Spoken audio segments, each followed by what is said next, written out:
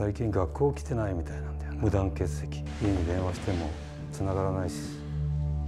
どうしたの？私の財布トイレに捨てられてた。またいじめられた。違う。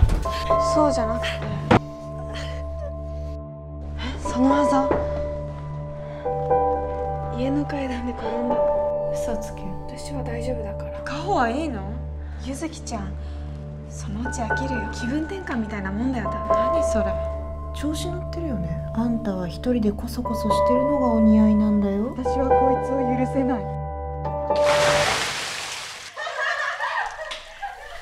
カホ。ね返事して。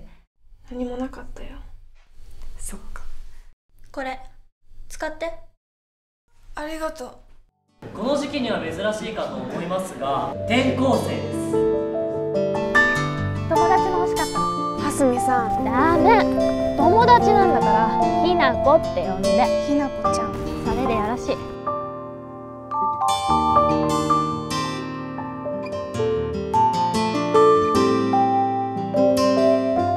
あのね殺してほしい人がいるの。殺しちゃった。そう